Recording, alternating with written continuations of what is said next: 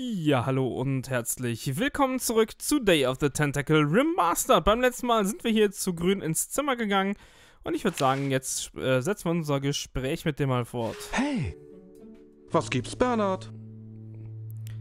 Äh, was glaubst du, was Popo jetzt macht? Willst du mir helfen, die Welt zu retten? Wie geht es deiner neuen Band? was glaubst du, was Purpur jetzt macht? Nun, er will die Welt übernehmen. Also denke ich mal, er wird etwas Gemeines anstellen. Macht er Genexperimente mit kleinen Schmusetieren? Erfindet er Verkleinerung, der einen Verkleinerungsstahl? Schmeißt er alte Frauen die Treppe runter? Macht er Genexperimente mit kleinen Schmusetieren? Ich will es nicht beschwören, aber ich dachte da mehr an etwas Politisches. Hm, willst du mir helfen, die Welt zu retten? Willst du mir helfen, die Welt zu retten? Ich habe Angst, den Raum zu verlassen. Ich glaube sogar, dass ich mich nicht vom Fleck rühren kann. Purpur macht mir höllische Angst. Hm, wie geht es deiner neuen Band? Wie geht es deiner neuen Band? Grüntee und die Sushi-Teigs? Wir machen uns gut. Wir haben uns entschieden, die Qualität unserer Band zu verbessern. Nochmal für den klassischen Look hier. Ähm, berauschende Dreiton-Stimmenharmonien. Berauschende Dreiton-Stimmenharmonie? Lautstärke, Mann, Lautstärke. Wir müssen das ändern, um eine Chance auf ein Grimmi zu haben. Wir nehmen die Pausen raus. Ein Grimmi. Braucht ihr nicht vor kurzem einen neuen Gitarristen? Brauchtet ihr nicht vor kurzem einen neuen Gitarristen? Ja, aber wir haben uns dann für einen Typen entschlossen, der Elektrowerkzeuge spielt. Dadurch kriegen wir mehr Sound. Arbeitet ihr an einem Album? Arbeitet ihr an einem Album? Ja, wir machen eine CD. Rap auf der Stirn. Da sind ein paar Stücke in der Anlage, wenn du sie hören willst. Hm, okay. Schon mal im Radio gewesen? Schon mal im Radio gewesen? Nein, fürs Radio sind wir etwas zu unkonventionell. Aber wir haben viele Fans in der Szene. Großartig. Allerdings. Wozu die Kiste? Hast du eine Katze? Wozu die Kiste? Hast du eine Katze? Frag nicht. Wie setzen sich ein. Wie setzt sich ein Tentakel in ein Sitzkissen? Wie setzt sich ein Tentakel in ein Sitzkissen? Oh, das ist ganz einfach. Wieder rauszukommen ist viel schwieriger. Äh, kannst du mit der Bowlingkugel spielen? Kannst du mit der Bowlingkugel spielen? Nein, Purpur hat sie hergebracht, nachdem er Arme bekam. Er war aber ziemlich enttäuscht, weil er keine Finger hat. Man sieht sich grün. Ja, viel Glück beim Weltretten, B-Man. Vielen Dank. Äh, Welteroberungspläne. Können wir uns die Oh ansehen? oh, sieht so aus, als ob es klappen könnte. Ich will die Welt nicht erobern. Hm, Na gut. Ein Videoband, das nehmen wir uns mal mit. Und die Anlage, da soll Musik drin sein. Wow, das ist laut. Aha. Okay, das reicht noch nicht ganz. Vielleicht kriegen wir mehr Vibration auf die Decke. Können wir das hier? Ja, können wir. Yeah, damit haben wir die Plastikkotze und ich würde sagen, wir machen schnellstens die Musik wieder aus. Hui. Und äh, ja, wir haben auch so ein Mauseloch. Das haben wir noch nicht angeguckt. Es ist ziemlich klein. Können wir die Bowlingkugel mitnehmen? Das ist zu schwer für mich alleine. Ach so. Ja. Okay. Dann. Unförmiges Wesen am Tatort gesehen. Kühe umgeworfen, Polizei staunt. Okay, hier geht's Treppen hoch. Wir nehmen zuerst die linke Tür. Eine Statue. Seltsam. Muss ein Edison sein. Ein Foto. Da steht, Edna, danke, dass du mir das Fieber gabst. Eine Eule. Sieht aus wie mein Physikprofessor im zweiten Schuljahr. Ein Poster. Wow, was für ein Mann. Und. Sieht wie der Flur aus. Okay, Monitor. Reden wir mal mit. Schwester Edna. Was ist? Ich habe. Sag mal, bist du nicht Bernard Bernoulli? Äh, Sie müssen mich mit einem anderen Bernhard Bernoulli verwechseln. Nein, mein Name ist Streetwood. ja, das stimmt. Nein, mein Name ist Streetwood. Klingt gut, würde ich sagen. Nein, mein Name ist Threepwood. Netter Versuch, aber ich vergesse nie ein Gesicht. Du bist vor ein paar Jahren in unser Motel eingebrochen, um deinen Freund zu retten. Warum bist du diesmal gekommen? Äh, ich versuche einen Tentakel von der Diktatur abzuhalten. Ich bin hier, um ihren Videorekorder zu reparieren. Das ist ein Geheimnis. Ich darf es nicht verraten. Äh, ich gehe besser. Ich versuche ein Tentakel von der Diktatur abzuhalten. Wirklich? Wie schön. Wie geht es Dr. Fred? Wie geht es, Dr. Fred? Nun, er ist immer noch besorgt über die finanzielle Situation. Er glaubt, es wäre alles sein Fehler, aber es scheint besser zu sein, seitdem er nicht mehr schlafwandelt. Wie hat er die Finanzen ruiniert? Äh, was ist so schlimm am Schlafwandeln? Wie hat er es geschafft, mit Schlafwandeln aufzuhören? Nun genug über Dr. Fred. Okay, ich lasse Sie da mal weiterarbeiten. Wie hat er die Finanzen ruiniert? Tja, eigentlich sollten wir Millionen mit dem Computerspiel verdienen, das sie über uns gemacht haben. Aber dieses Genie hatte den Vertrag im Safe eingeschlossen und dann die Kombination vergessen. Das ist gut. Was ist so schlimm am Schlafwandeln? Was ist so schlimm am Schlafwandeln? Normalerweise nichts, aber wenn Fred schlafwandelt, erinnert er sich an die Kombination vom Safe. Er ist dann im Büro, öffnet ihn, schreit wie eine Katze im Ofen und wirft ihn wieder zu. Irgendwas da drin macht ihm ziemlichen Kummer. Leider war ich nie schnell genug, die Kombination zu sehen, weil er so schnell ist. Ah. Wie hat er es geschafft, mit Schlafwandeln aufzuhören? Wie hat er es geschafft, mit Schlafwandeln aufzuhören? Mit dem Schlafen aufgehört. Fred trinkt eine Menge Kaffee. Ich trinke nur entkoffeinierten. Aha. Ich habe gerade die Statue bewundert. Ich habe gerade die Statue bewundert. Dankeschön. Sie gehört seit der Gründerzeit zur Edison-Familie. Einer von Freds Vorfahren machte sie. Mhm. Ziemlich gute Ausrüstung, die Sie haben. Ziemlich gute Ausrüstung haben Sie hier.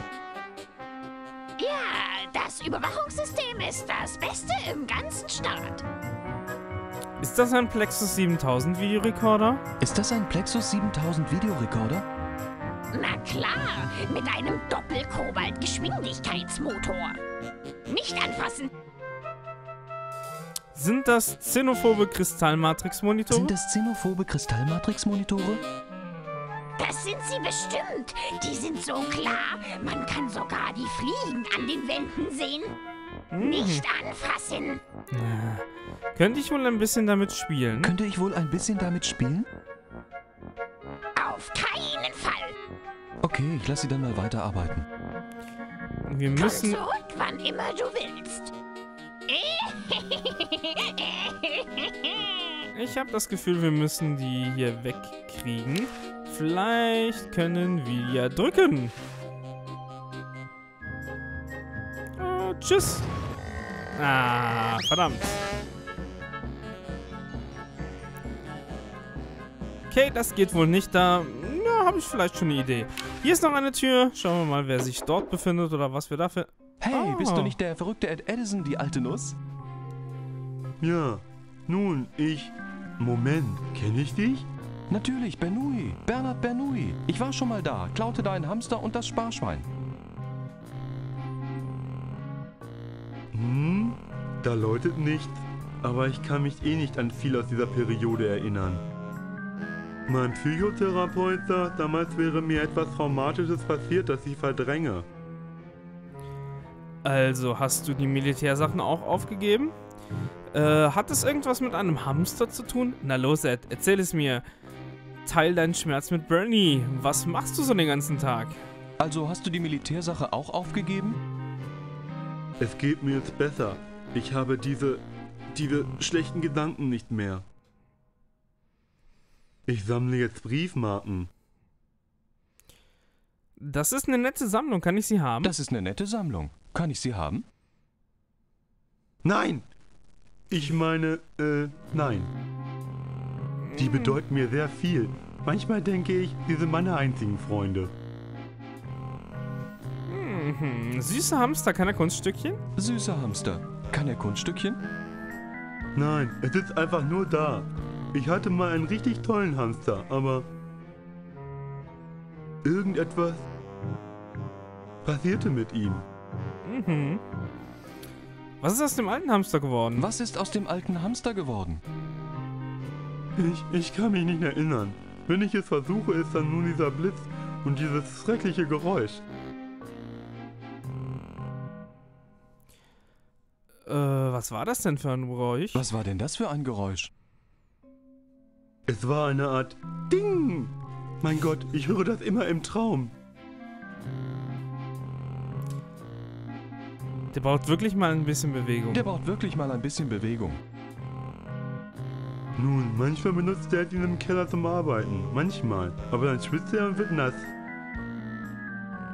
Und dann wird ihm kalt und er weigert sich zu arbeiten. Dein Vater oder der Hamster? Machst du dich über mich lustig? Nein, ich. Ich werde sauer, wenn Leute Witze über mich machen. Ich meinte ja nur, Oh, es macht mich wahnsinnig. Ich möchte einfach nur ausbannen. Ich will ausbannen. Ist schon okay. Ich habe ja meine Briefmarken. Ah. Sind alle deine Hobbys so interessant? sind alle deine Hobbys so interessant? Ich habe keine anderen Hobbys. Briefmarken sind mein ganzes Leben. Wenn ihm mal etwas passiert,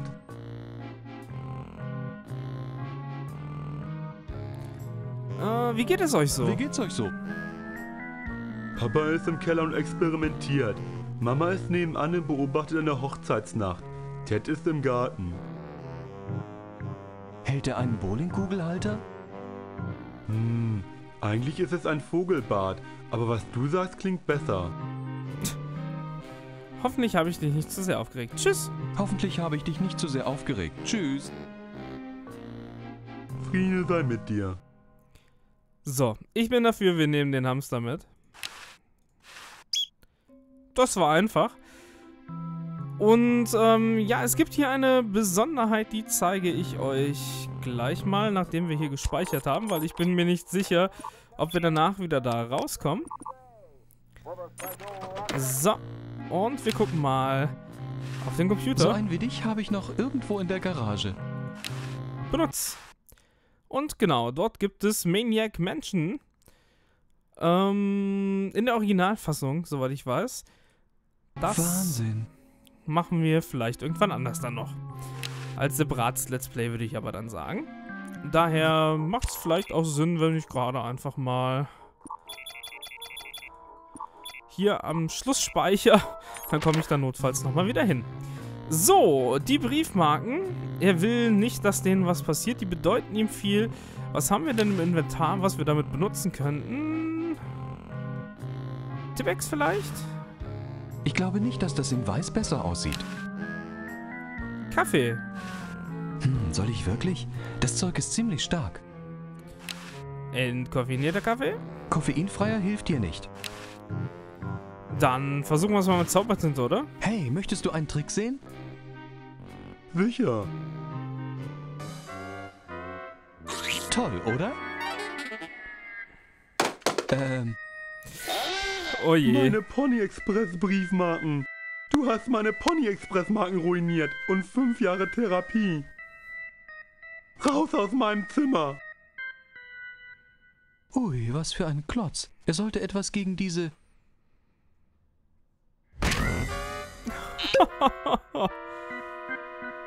negativen Gefühle tun. Okay, wir nehmen die Briefmarke. Was ist das für eine Briefmarke? Können wir uns die mal angucken? Hm, eine 1778 Pony Express Briefmarke. Nicht unbedingt wertvoll, aber unbenutzt. Das ist wichtig, die brauchen wir nämlich noch. Ähm, dann nehmen wir das Buch mal mit und gehen hier wieder rein. Raus hier. Nein, nein, nein, warte. Hier. Hey, der Fleck ist wieder weg. Ich glaube, ich kann dir verzeihen. Manchmal mache ich komische Sachen und weiß nicht mal warum. Als ob mein Körper von einem perversen, sadistischen Puppenspieler gesteuert würde. Tja, wir alle haben manchmal dieses Gefühl. Ja, ist klar. Okay, das war's dort. Ähm, hier geht's noch hoch.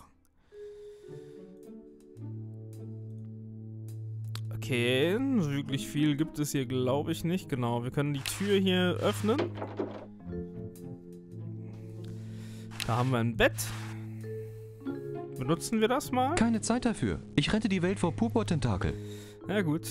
Das Fenster ist auf. Auch wieder mal ein wichtiger Punkt, denke ich. Und da ist noch ein geschlossenes Fenster. Können wir das öffnen? Geht nicht. Das klemmt. Eine Kurbel. Vielleicht auch noch wichtig. Können wir die mitnehmen? Okay, dann nehmen wir die erstmal mit und gehen durch den Kamin, wenn das geht. Auch hier. Sieht gut aus. So, und dann denke ich, genau, die Plastikkotze brauchen wir noch. Kommen wir denn jetzt eigentlich auch mal vor die Tür? Ja, kommen wir.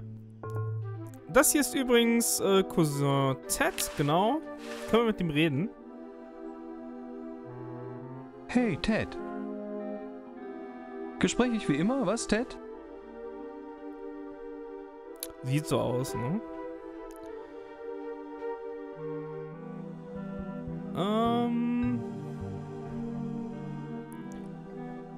Junge, ich habe dich seit fünf Jahren nicht gesehen. Äh, Junge, ich wünschte, ich hätte so wenig Gehirn wie du. Tja, ich rette dann mal lieber die Welt. Junge, ich hab dich seit fünf Jahren nicht gesehen. Du hast dich du nicht hast dich verändert. nicht verändert. weißt du, du bist ein bisschen wie mein Freund Hoagie. Weißt du, du bist ein bisschen wie mein Freund Hoagie.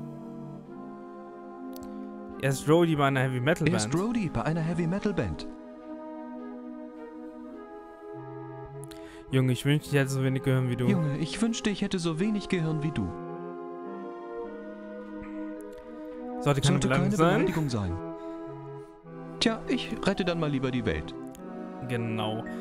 Und äh, gibt es hier noch was anderes? Hier ist noch ein Briefkasten. Ist da noch was drin oder so? Er ist leer. Okay, und auf dem Park. Aha. Mann mit Skimaske. Hi. Erschreck mich nie wieder so. Äh. Nette Brechstange. Nette Brechstange. Danke. Glaub nicht, du könntest sie dir leihen. Ich brauch sie selber. Hm. Was machst du da? Was machst du da? Äh, ich, äh, ich hab mich ausgeschlossen. Da sind keine Schlüssel im Auto. Warum öffnest du denn den Kofferraum, wenn du ausgesperrt bist? Hier, vielleicht sind das deine Schlüssel. Ja, vielleicht hilft ihm das. Hier, vielleicht sind das deine Schlüssel.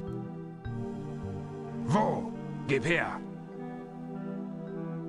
Danke, Freund. Behalt die Brechstange. Danke, Okay. maskierter Mann. Vielleicht dieser. Dann würde ich sagen, gehen wir wieder rein. Mm, So. Mit der Brechstange kriegen wir vielleicht da unten mal... Na, hat er nicht genommen. Den Kaugummi mit dem Groschen drin ab. Sieht gut aus.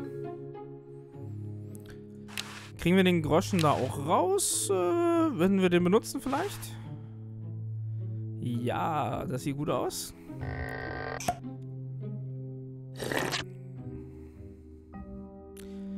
Okay, jetzt haben wir ein Kaugummi und noch einen weiteren Groschen. Wir haben mit Sicherheit ein paar Sachen. Also ich glaube, diesen Zettel hier sollten wir an Hoagie geben. Ich renn kurz zum Chrono John. Macht er das offscreen? Da ist was im Chrono, John.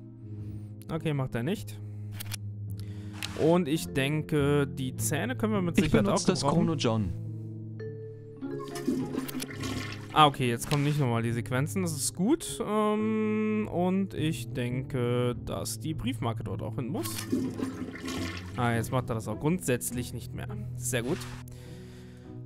Okay, dann können wir nochmal gerade kurz hochgehen und den Mann hier nochmal schleudern lassen. Vielleicht kommen wir ja dann an den Pulli dran. Vielleicht reicht das ja schon. Perfekt.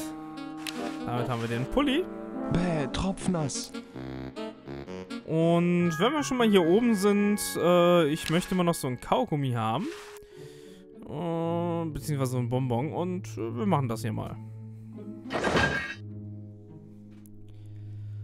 Guckt keiner. Mach mal. Oh. Möchtest du die mitnehmen? 50er sind das alles. 1968, Oh je. 1974.